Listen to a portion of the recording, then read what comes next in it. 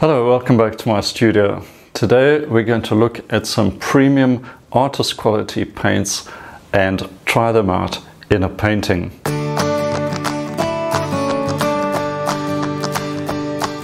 Some time ago I did a review on Rembrandt artist quality paints. These are manufactured by a company called Royal Talens in the Netherlands. In that review I was simply looking at the qualities of the paint, the workability, the vibrancy. Today I'm going to put these paints to the test and create a small painting and give you my impressions of using the paint and whether it's going to give you something extra in your next painting. Now to do this I'm going to use one of these little starter boxes and this is what typically a lot of artists would purchase to try out these paints. So I'm going to see what I can do with these. It's quite a convenient little set with white and the primary colors and burnt sienna and some green. But we'll open the box and take a closer look and then start painting. So stick around and see how these paints work out. Alright, let's have a closer look at these paints and open the box up. There you can see six tubes of 15 milliliters oil color, artist quality.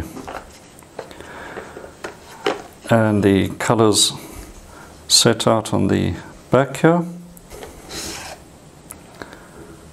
And it's a very attractive box it comes in, would make a good gift as well. And there the tubes of paint. We've got titanium white, this is permanent yellow light, permanent red light, permanent madder medium, ultramarine blue, and permanent green deep. Well, let's try it out on some painting.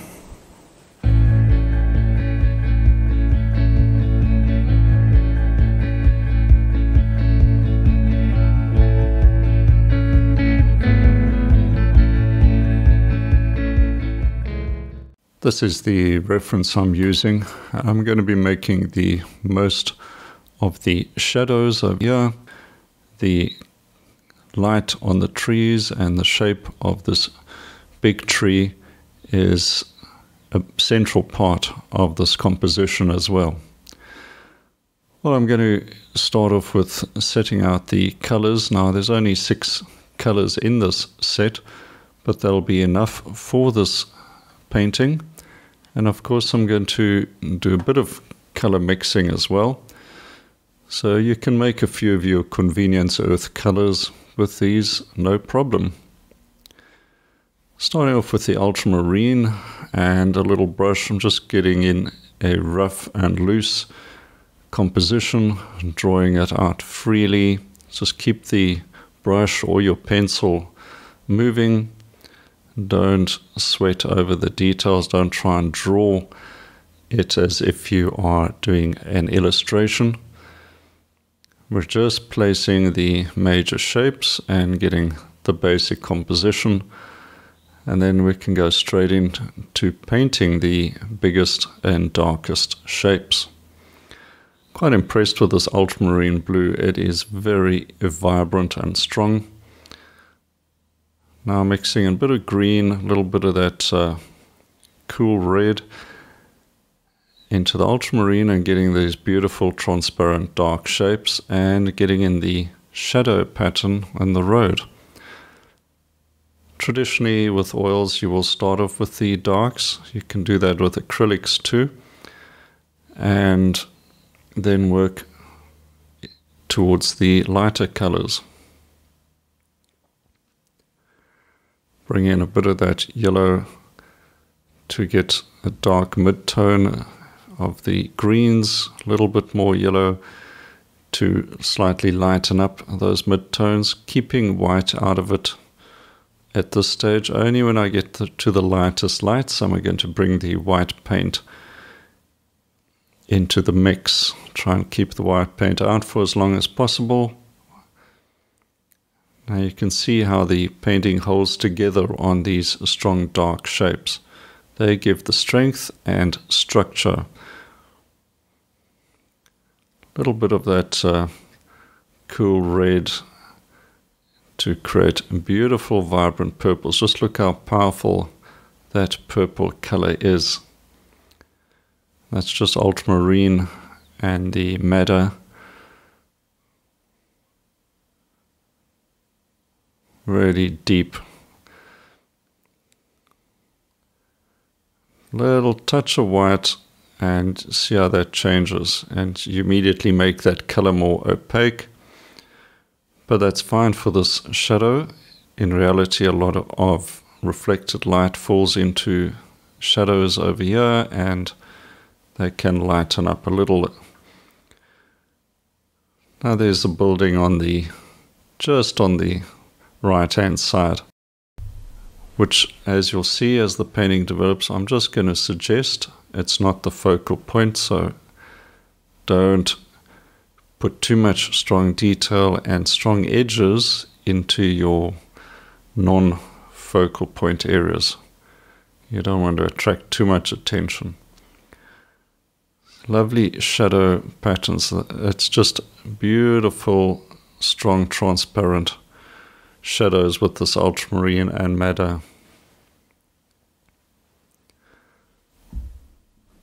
All right, let's get into some lights now. I'm going to make up a yellow ochre and uh, with mostly yellow, bit of red and white, you can get a lovely yellow ochre. And that's a good sign of good paint with lots of pigment. Let's see different shades yellow ochre. And look at that, it is brilliant strong, just what you need. I can see I'm going to enjoy these paints because they're going on very uh, strong and buttery. I was expecting a much more oilier paint than this, to be honest. Um, but I have added absolutely no mediums into this paint and it is beautiful to use straight out the tube. I'm using bristle brushes throughout this painting and you can see what a amazing impressionist approach um, these paints can can really handle that good texture going on nice and thick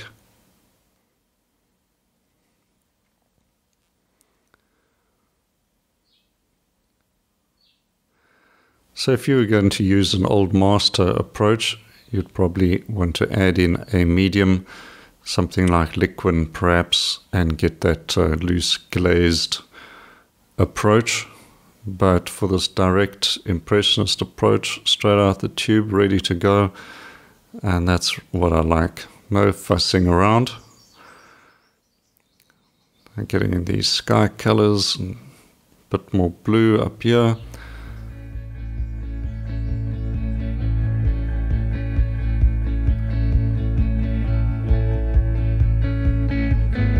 Just getting the brush stroke, put it down, take the brush off, see what it's like. Do you need to adjust the shape? But each brushstroke makes its own shape and I try not to lose that too much.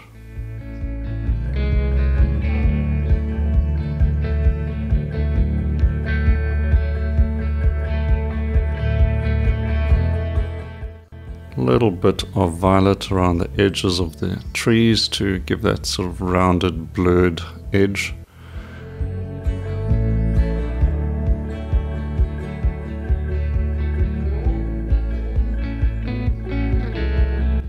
Hills peeking through in the distance, making those yellow ochres a little more red.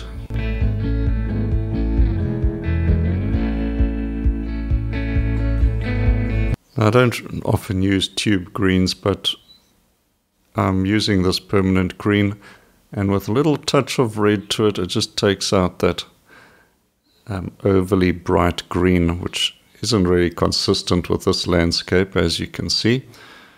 So if your green is too strident, a little touch of red will knock that right out and get you a more natural green if that's what you need. These sort of shady browns, kind of grey, and then I'll add the lights a bit later. Like I said, keeping this building you're very loose, just suggestive. And now the blocking in is pretty much done. I'm getting a few directional lines in this. As I said, this building very loosely done, but it's got some directional lines which also help to move the eye to the focal area beyond the tree down the road. So don't hinder the movement of the eye, just help it along. Telephone posts, nice vertical elements are always handy and they just sort of balance out all the organic shapes of a landscape. So if you look out for them, fence posts, telephone poles, all of that can be useful. And if they're not there, maybe you just add them nobody's checking. A few of the lighter middle tones now. This is the second stage of the painting, developing the initial initial shapes. And uh, I, I usually go through this stage fairly quickly. I don't want to lose the spontaneity of the original blocking in. So mix, put the paint down, cooler in the distance, warmer in the foreground. Simple rules like that will look after your color mixing. Try and follow the shapes of objects. A rounded bush, give a shape with the brush that uh, carries that off.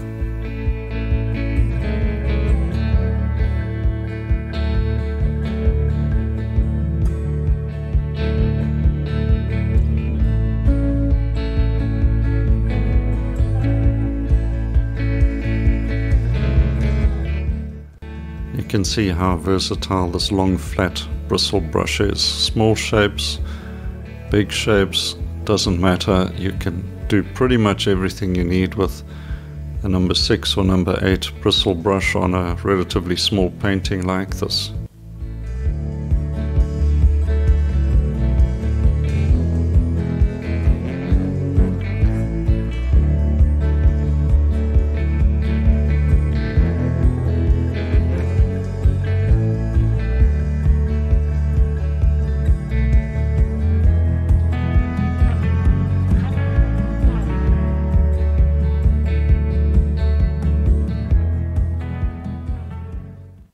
I'm painting wet over wet.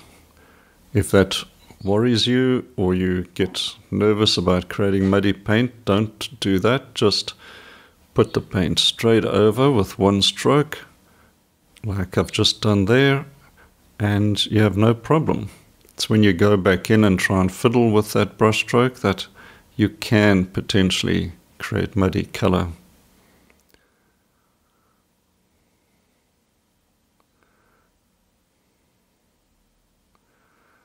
I must say, I really am enjoying this ultramarine. A little bit of white paint and a bit of madder or red light into that ultramarine and creating these beautiful violets and uh, shadow blue colors, the purples, amazing. And this yellow, you can see extremely strong but of course, don't use too much white. Just use enough white to adjust your value, but don't lose your vibrancy of the color. I'm getting some nice warm colors in the foreground, thick juicy paint. That's the way I like to do my painting.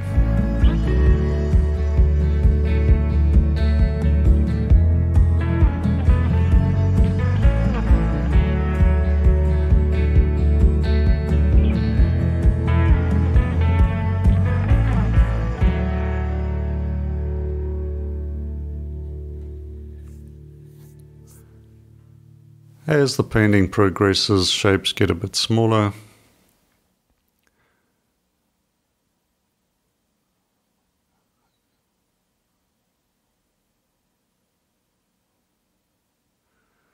But I'm still using the same size brush for the most part. I, I will use a smaller brush now and then. But never use a small brush and lose the large shapes and strength of your painting. Just getting a bit of information into the shadows. It's quite a large shadow in the foreground, so we want a little suggestion of something in there. A few more shapes and layers in the darks of the tree.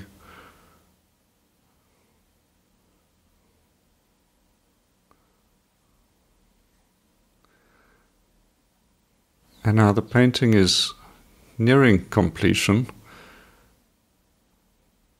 A few shapes that I've lost along the way, bringing them back. A little highlight or two in the tree. And uh, just that distant shape there, getting some cool light in the distance.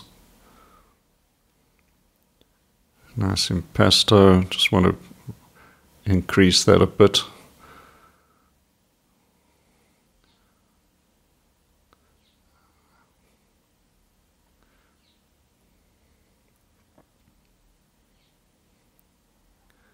I really, as I said, love these blue colors. So a few little dots and dashes.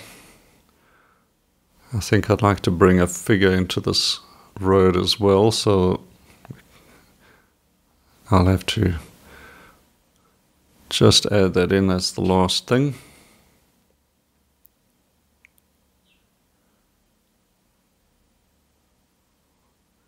a cloud up in the sky.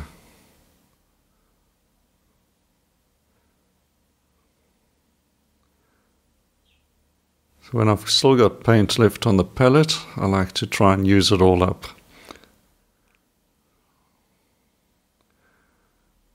Telephone lines, take the eye along as well.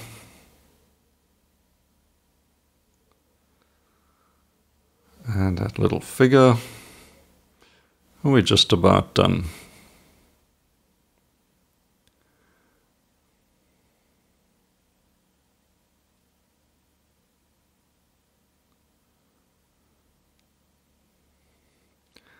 Alright, time to sign off and have a look at the final painting.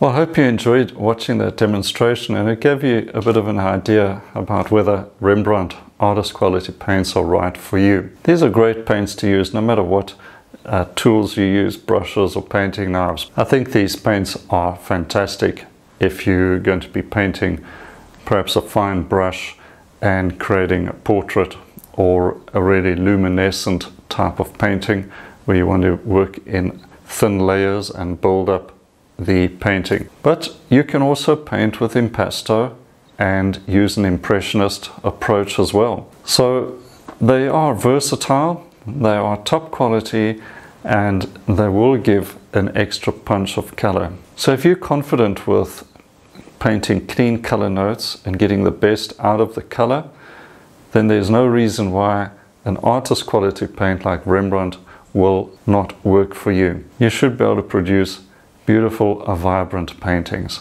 All right, that's enough talk. And now I'm sure you want to go out and try some painting yourself.